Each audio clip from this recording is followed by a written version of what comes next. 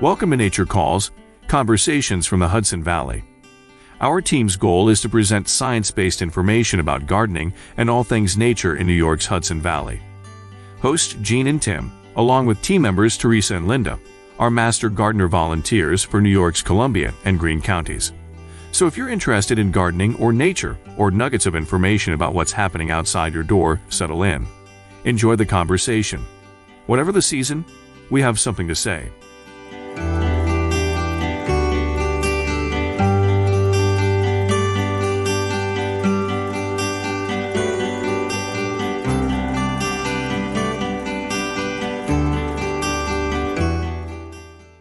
Hi, I'm Tim Kennelty. And I'm Jean Thomas. And welcome to Nature Calls, conversations from the Hudson Valley. Jean, what's on our program today? We got some cool stuff going on. We do, on. don't we? Mm-hmm. Yeah. In Teresa's Veggie Patch, we're going to talk about how to extend your veggie season.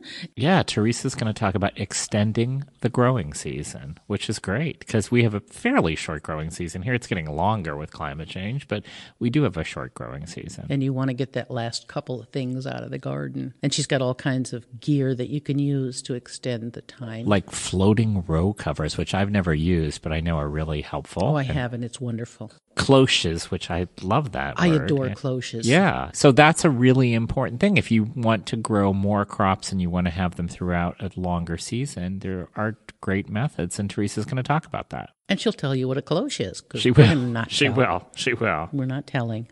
So, what about cover up? What are we talking about on the cover up? Your favorite What's that? How not to grow bindweed and why not to grow well, bindweed. bindweed is in the same kind of family as the cover up we're talking about, which is morning glories, right? Yep. Morning glories are gorgeous. They are. And people think that the wild morning glories are gorgeous until they try to eat their yard. Yeah, and the roots of those go down for several feet, I think. They're really hard to get rid of. But but that's really not what we're talking about. We're talking about the domesticated morning glory that come in a lot of different colors and are really nice annual vine. And we explain the difference. Yep.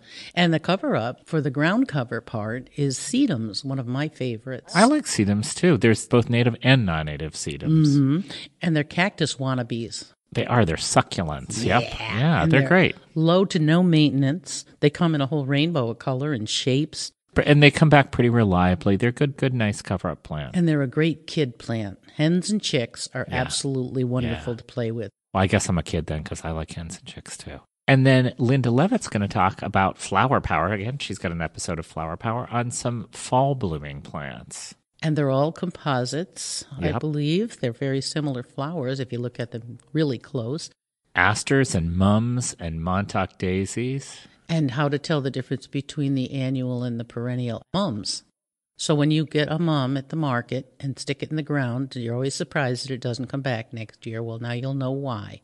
And asters are a great flower because they bloom late. They're a great nectar flower, but they're also a host plant for a lot of different butterflies. So asters, you can't go wrong with um, New England asters. And they're mostly natives. They so are. That's always they a are. bonus. Yeah, yeah. So that's going to be great. There's a lot of flowers that bloom into, you know, October, even some blooming in November. So it's talk about extending the growing season. It's extending the growing season for pollinators. And Linda's favorite daisy in the whole world is a Montauk daisy. A little bit difficult for our region, but she manages to grow it. And I think if you have kind of a microclimate, you can do that. They bloom very, very late. They're gorgeous. Right. So if you've got a little spot where you can keep it a little bit warmer or there's more sun for longer into the year. So handle with care and treat cautiously. But if you've got a good spot for them, they are awesome. That's how I describe you handle with care and treat cautiously, I think. You're wiser than your years, Tim. It's going to be a great show. We're going to enjoy it.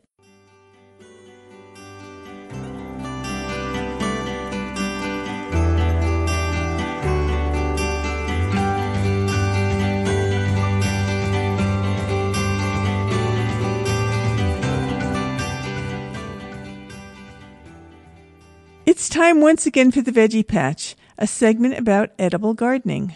I'm Teresa Golden, a Master Gardener volunteer for Columbia and Greene counties.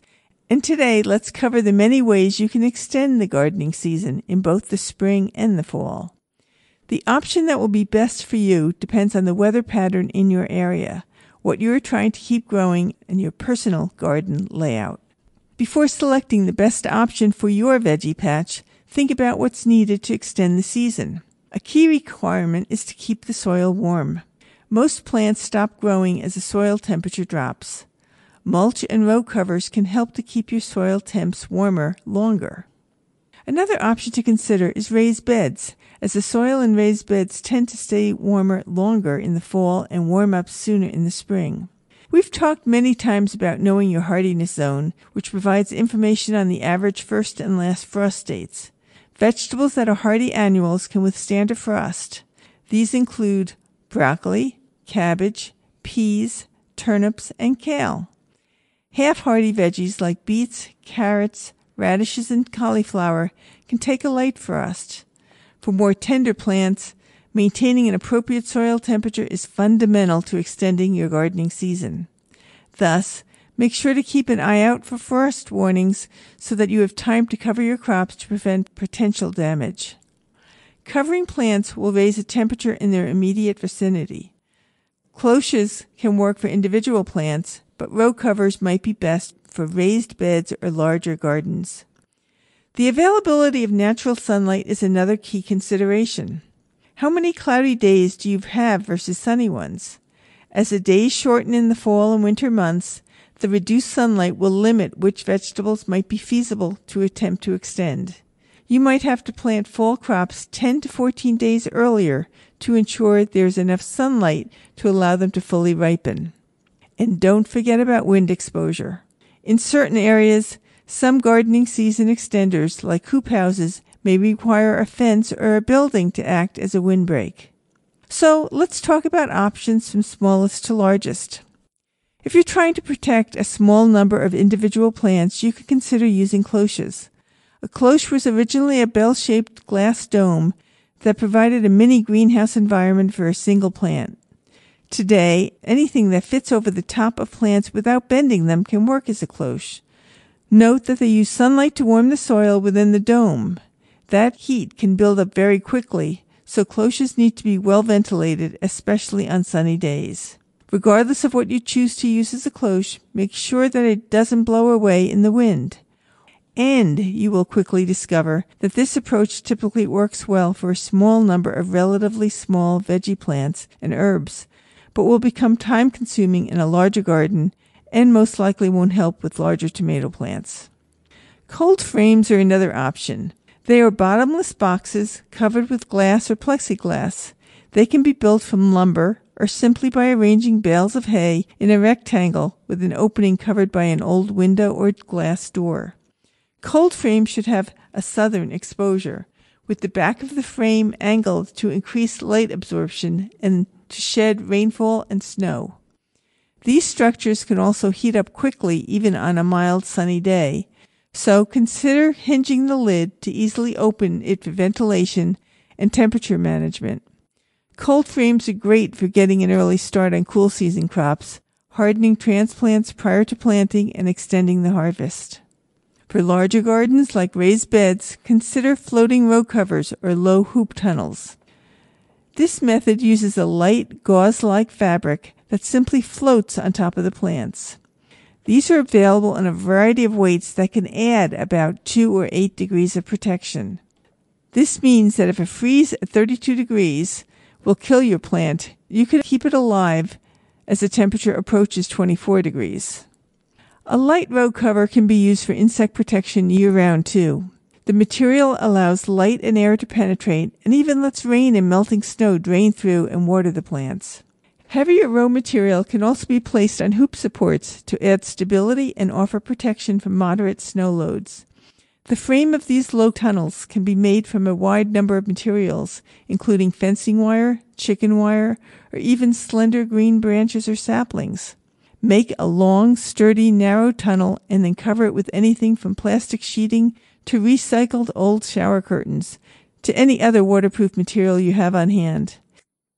The plastic is stretched over the hoops and then buried or weighted down on the sides and ends. Since they are narrow and low to the ground, hoop tunnels can handle heavy snows and strong winds relatively well. However, you'll have to remove the covering to harvest your crops, ensure adequate ventilation, and adjust for any heat buildup and soil moisture. They can extend the growing season, but typically only work well for relatively short plants. For larger plants and a larger investment, you might consider a high tunnel or a mini greenhouse.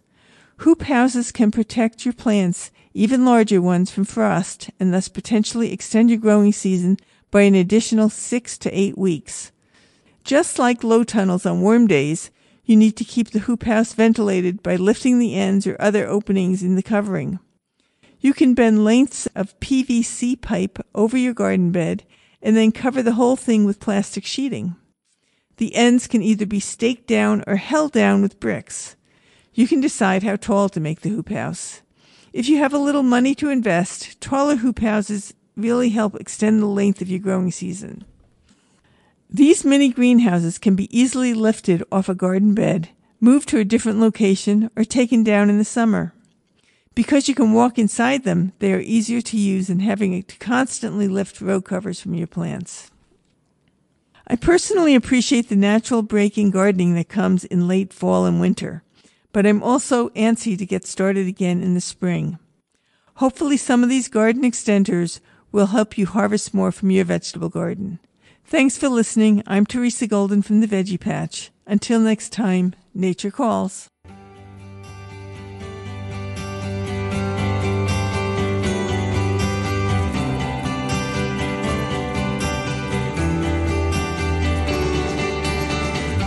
You're listening to Nature Calls, conversations from the Hudson Valley. Stay tuned for The Cover Up.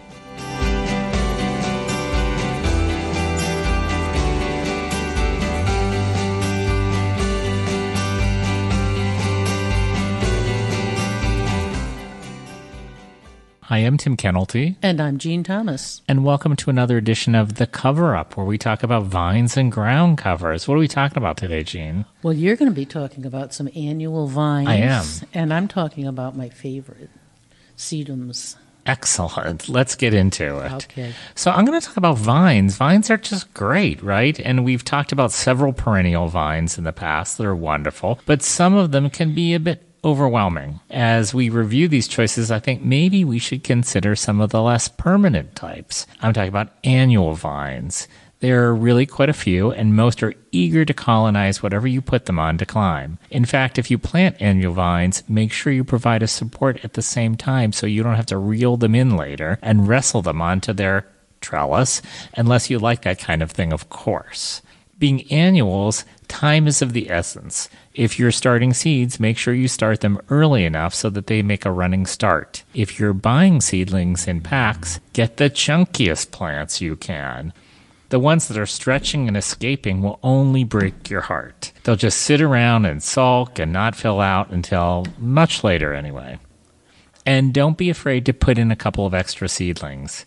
Many retailers also make available the best shortcut of all, the teepee. It's a large pot with a teepee of bamboo sticks in it, with vines already planted and grown and flowering. Use normal caution about last frost dates, but it's instant gratification. They're ideal for a deck or open porch. You can stand a pot next to a trellis or arbor and let it climb even higher. And if done carefully, the root ball can be removed from the pot and planted into the ground. They'll grow robustly all summer and into the fall. Once killed off by frost, you can tear them out or do whatever you want with them. What are the best annual vines? My favorites are Morning Glory, Hyacinth Bean, or Lablab, and Moonflower, probably because they're the easiest and get pretty big. You can also collect the seed for the next season, which is great free plants. Morning Glory is sometimes a mixed blessing. First of all, don't confuse them with wild Morning Glory or called bindweed. Terrible, terrible murder of a plant and never really gets pretty anyway. Morning Glory comes in a gorgeous range of colors from sky blue to white to my favorite purple heirloom, Grandpa Ott. These will aggressively recede, and some people think of them as pest. I let them thrive where I like them and mow them elsewhere. Easy peasy. Hyacinth bean is a gorgeous medley of purple from the leaves to the flower to the beautiful bean itself. And moonflower has a wonderful mystique of its own because, of course, it only blooms at night or on very cloudy days. It's a cousin to the morning glory and is technically a tender perennial. Grow it where you'll be able to see it at night and enjoy the fragrance. You might even get to see a visit from a luna moth. There are also some more exotic vines with dainty flowers like the yellow flowering canary creeper, which is a weak climber but worth the extra attention because the flowers look like canaries. The flowers of the cardinal climber, another cousin of the morning glory, are as you would expect bright red hummingbird magnets. I love this plant. The leaves are feathery and whole plants look fragile, but it's not a fragile plant. They can grow to 12 feet and look great combined with morning glory.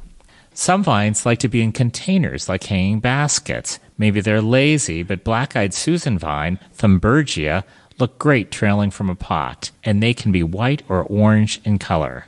Asarina is a pretty blue bell of a flower that is sometimes called climbing snapdragon. I don't really see it. It trails beautifully and loves to drape over things like walls. And there are vines that even the nothing but veggies gardener will like. Scarlet runner beans, for example, will make a double crop if wanted. The young beans can be eaten just like green beans, and the mature pods produce beautiful dry beans for soups. And the flowers are a bonus because they attract pollinators and hummingbirds. Mine grow on an arch at the gate to my vegetable garden. Another trellis at the back of the garden is a deer barrier and supports my gourd vine. This is a visual treat with its beautiful white flowers that turn into dangling hard shelled fall ornaments. You could grow bottle gourds or Turk's turbans or loofah gourds. If you're determined to grow edible vines, remember cucumbers love to climb too, or miniature pumpkins, or tiny watermelons, or it goes on and on. Jean, what are you going to tell us about ground covers today? Well, ground covers are wonderful because they're just like carpets, they hide stuff. Today's star is sedum. The sedum genus is a member of the Crassula family, and so is the Sempervivum genus. I'm throwing in the sempervivums as a bonus because they behave the same way as sedums and expand your palate. Starting with the words, let's begin at the largest category. Crassulaceae comes from the Latin word for thick because the leaves of the plant are so fleshy and thick. Sedum is from the Latin word for sit because that's exactly what the plants tend to do. They sit nice and low to the ground. Hence the popular name of stone crops as well. Sempervivum means live forever and the plants do have constant new baby plants growing from the adult plants. Once established, both sedums and sempervivums are hardy to zone 3 and usually evergreen. Their only known enemies are too much water and, rarely, snails. So, why are we looking at plants that are thick and squatty? Because they're wonderfully tough and varied. Sedums and sempervivums, which are also known as hen and chicks, are drought tolerant, heat loving, low growing plants that have many colors, both in their fleshy leaves and their bright masses of flowers. They're happy in poor soil and they dislike too much moisture. Those fleshy leaves are excellent water storage units. They thrive where leafier plants wither and die. Think of hell strips, the spaces between sidewalk and curb or alongside driveways. Thickly planted with sedums, they're neat, healthy, and mower free. Areas where even grass refuses to grow can become attractive green areas, seasonally colorful with flowering. The infamous black walnut, with its alleles preventing most things from growing, has no effect on sedums, so you can finally cover that bare spot under the trees. Oh, did I mention deer and rabbits are rarely interested in sedums as a snack? Let me list a couple of the most popular sedums for you. There are 600 to 700 species in total, and dozens are available for gardeners. Sedum acre comes first, and not just alphabetically. It's a primo ground cover that minds its own business and will spread wherever opportunities arise, but it's easy to rogue out and remove if unwanted. Its common name of gold moss is a perfect description. It stays low and green much of the season until it elongates a few inches in height and erupts with hundreds of tiny bright yellow flowers. These last a nice long time, and since they tolerate some shade, can be spectacular under a tree or covering a hot, dry slope. Another popular sedum is Sedum spurium or Caucasian sedum. It's also known as two row sedum, which describes the way the round scalloped leaves are arranged on the stems. There's a red flowering version known as dragon's blood, and one with lime colored leaves that sends up tall pink flowering stems. The leaves grow into a mat that can spread and cover as much or as little as you want. Other sedums are available in a vast array of leaf shape, leaf and flower color, and heights, although most stay low. Their cousins, the Sempervivum tectorum, are one of my favorite plants. Also known as house leeks or hens and chicks, they're a nearly indestructible plant to introduce kids to gardening. Basically, there's a main rosette of one plant, the hen, with a circle of smaller offset rosettes attached by leaders. When the hen is about three years old, it sends up a flower stalk, then dies off, leaving the chicks to expand the colony. The flowers aren't the draw, however. It's the great variety of sizes and colors and quirks like cobweb growths. They've been traditionally grown on roofs in Europe. And I've seen a new trend of green roofs rising, with these cheerful little plants making the prettiest and most sustainable, along with their sedum cousins. They already have a track record. They don't require deep soil or frequent watering and weeding. They alleviate urban heat wells and slow down water runoff on garages and sheds. Well, now that I've strayed from a simple discussion of ground covers to green roofs, I may as well take the total plunge. Ground cover and rock garden stars, many sedums and sempervivums can also be grown as houseplants. They must have great quantities of light and limited amounts of water. Until next time, that's it for the cover up. Thanks for listening.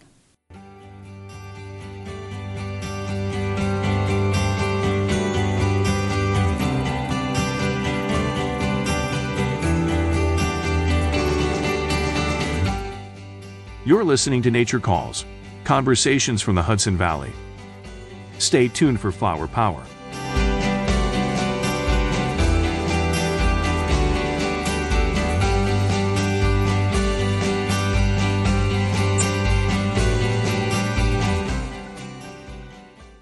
To Flower Power, a regular feature of this podcast that will focus on all things flowered. I am Linda Levitt, a Master Gardener volunteer with the Cornell Cooperative Extension of Columbia and Greene counties in New York's Hudson Valley. Approximately once a month, we will cover different types of flowers, how to best select, plant, and care for each of the flowers featured. I am very excited about today's episode. These three plants grace our gardens well after all other plants have gone by. We will spend a few minutes talking about these three wonderful fall blooming plants a very well-known plant, the chrysanthemum, a little less known option, the aster, and a not so well-known plant, my favorite perennial, the Montauk daisy. The chrysanthemum plant, commonly referred to as mums, were first cultivated in China as early as the 15th century BC. The plants were used as herbs, and the roots and leaves were eaten. Its favorable reputation in the US is a welcome sight in late summer and early fall, appearing in grocery stores, farm markets, and garden centers. However, this flower is not looked at the same way in some countries in Europe. Some European countries consider the chrysanthemum the flower of death, seeing these flowers only at funerals or laying on graves, a very morbid thought. There are actually two types of mums one is an annual plant and the other a perennial plant. The annual plant is Chrysanthemum multicaulis and the perennial plant is the Chrysanthemum morifolium. If you are only using these plants in your fall display, it may not matter to you if it's an annual or a perennial. However, you should know that the perennial mum is easy to grow and welcome in your fall landscape. If your plant comes without identification, which most times they do, you can see the following differences between the annual and the perennial. Annual plants have thinner, strappy leaves that are not toothed. Perennial plant leaves are toothed, wider, and deeply notched. Perennial garden mums have smaller flowers than the annual potted variety chances are the potted mom that we're used to seeing at most garden centers and grocery stores are annual plants. So let's talk about the perennial plant. Perennial plants are hardy to agriculture zones five to nine, but will need some TLC to make it successfully through our winters. Do not plant them too late into the fall. Planting too late will not allow the root system to take hold.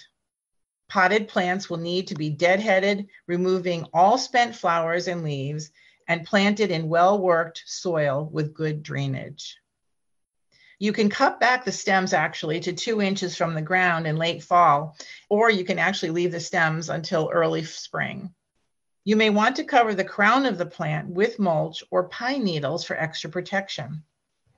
However, too much mulch around the stems actually cause rot. Pinch back the flower buds from early spring to mid July every two weeks for tighter, more compact, and better blooming plants. You must water them regularly and fertilize them in July. These are easy flowers to grow that will be a consistent performer in your garden. Now let's focus on the aster, probably not as well known as the chrysanthemum. The aster plant got its name from the Latin word for star. They are called the superstars of the fall garden. There are several hundred species of these plants available, and some plants can reach as high as six feet tall. The flowers range in color from white and pink to the most striking lavender, and sometimes even blue. The aster plant is native to the eastern United States, including Virginia. Although native, it can be considered problematic that can easily become weedy in dry areas like pine forests, chaparrals, and deserts. The New England and New York varieties spread through underground runners and will reseed. So when you're planting, please keep that in mind. Asters can be grown in most growing conditions other than full shade. They prefer moist, well drained soil. Some varieties need nutrient rich soils while others need poor soil conditions. So you must know which variety you have. That's very important. Most asters need full sun in order to prevent flopping over. I know mine are flopping over this year, so I know they're not getting enough sun. There are some woodland varieties that can tolerate shade, but they do need morning sun. It is best to grow asters from a plant rather than from seed. Make sure to add mulch to keep the soil cool and prevent weeds and water generously. Remove spent flowers after the plant has finished blooming for the season. Watch for powdery mildew and rust disease in the leaves and removing those infected leaves and flowers if necessary. And last but not least, my favorite, the Montauk daisy. A very little is known about this amazing plant. I cannot say enough good things about it. This plant is also called a Nippon daisy. You will not see these plants available at your local garden center during the summer, probably mid August. You'll see the plants available for sale. For years, the Montauk daisy was classified as a chrysanthemum until recently when they received their own genus name. Nippon, as you might think, is generally used to name plants that originated in Japan. The Montauk daisy is native to China and Japan. However, they were given their common name, the Montauk daisy, because they have naturalized on Long Island near the town of Montauk. The plants are hardy to zone five to nine. I know they grow abundantly in my full sun garden. They look fantastic. They are now blooming. The flowers are pure white, looking like a daisy as we know it, with multiple flowers per stem. Flowers will appear from late summer to heavy frost. They do tolerate a light frost. In my garden, the flowers actually don't appear until September. They are just starting to bloom now, as a matter of fact. Just when you think they're not going to bloom, they do. They attract pollinators to the garden when most plants have actually died off. They are sometimes deer resistant and rabbit resistant. If the plants are small, mine got decimated by the rabbits. As the plants get larger, the wildlife is unable to keep up with the growth rate. The plants are very salt tolerant and drought tolerant, able to be planted near your driveway or road. That is why they are able to exist in abundance on the shores of Long Island. They require well draining soil and full sun. Wet or damp soil or too much shade results in rot or fungal disease. They can grow as tall and as wide as three feet when left unattended. At this point, mine are now about four feet wide and about three feet tall. If they are getting a bit leggy during the summer season, you can pinch back the plants by actually cutting the plant back by half. I haven't tried this method and my plants seem to be okay, blooming profusely this time of year. During the summer months, the plant is very pretty. It looks like a big shrub with very glossy, leathery leaves. After the plants are gone, I cut back the plant to about six inches above the ground and cover the crown of the plant with mulch for extra winter protection. I remove the mulch as soon as I start to see new growth in the spring. This is an amazing plant that brings excitement to your garden as all other plants are fading. They are very easy to grow and you will get so many years of enjoyment. I hope you have enjoyed this episode of Flower Power. Thank you for listening. You will find additional information for this episode on our website. Until the next time, I am Linda Levitt, and please remember to stop and smell the flowers.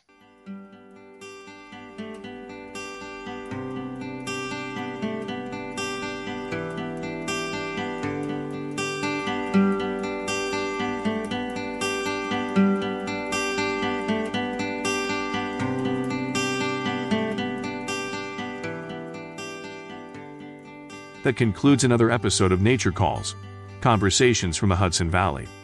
We would like to thank Sandra Linnell and Devin Connolly from Cornell Cooperative Extension of Columbia and Greene Counties for production support. And a special thank you to our listeners for joining us on this episode of Nature Calls Conversations from the Hudson Valley.